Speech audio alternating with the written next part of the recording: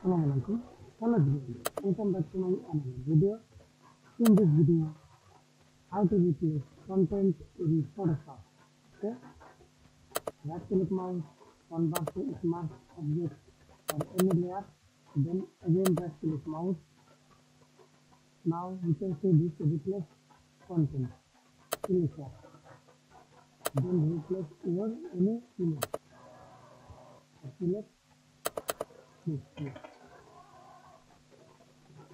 aqui. Vamos por aqui. Vamos fazer um tipo de salto alto.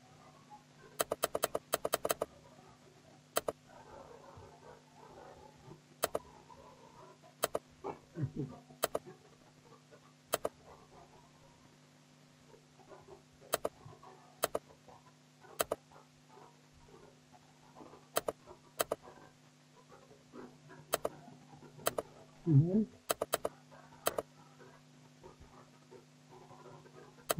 for watching video. Please subscribe to my channel, like, comment, share.